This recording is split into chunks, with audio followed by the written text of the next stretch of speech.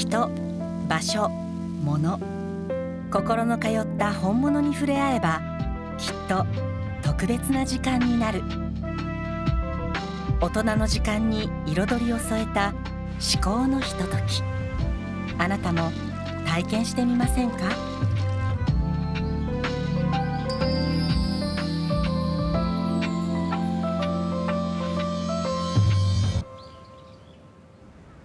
八王子ののどかな住宅街。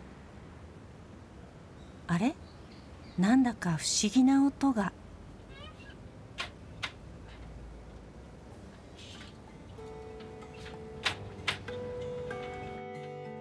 中では男性が機織りをしていました。ここは120年続く織物工場。沢井真さんはこちらの4代目腕利きの職人です。伝統工芸玉織は八王子を中心に袴や着物の生地として親しまれてきました。こちらは袴の生地で風通織りっていう織物になります。表裏がちょっとあるんですね。二重織りになっています。二重の生地の間を風が通るから風通織。り5つの異なる織り方があるのが玉織りの特徴ですが沢井さんはそのすべてを織ることができる貴重な存在です。さらに伝統を継承するだけではありません。技術つないでいくのもあるしあとは伝統を残していくっていうのもあるしだけど新しいものにも挑戦していかなくちゃいけない。玉織の技術を応用して現代的な製品にも挑戦しているのです。沢井さんが最も大切にしていること。それは？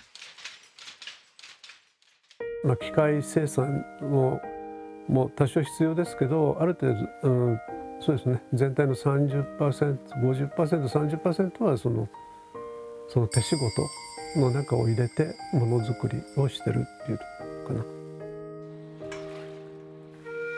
染め旗巻き。丁寧に積み重ねられる手仕事の工程は11にも上ります。すごく新しいマシンを入れて1日に何十メーター以上も折れる機械を入れることによるともうそれでできる品物って限られちゃうのね。でそうじゃなくてもっとこうバリエーションがいっぱいできる仕事っていうのはどうしても手間はかかるんですけどもでもそういう仕事の方がなんか、まあ、作ってても、うん。まあ、自分としても楽しいし。沢井さんのもとで働く里村さんはまだ20代。思いと技術は世代を超えて受け継がれています。工程がすごい多いんですけどだからこそ面白いなってそれがなくなるとなんかそれはつまんないんじゃないかなって思います。玉織りがつなぐ伝統の技。ずっと続いてる中の私はなんかそこの通過点の一つなので次につなげるように残していければいいかなっていう感じか手仕事だからこそ生み出せるもの。人のぬくもりを感じる至高の一品です。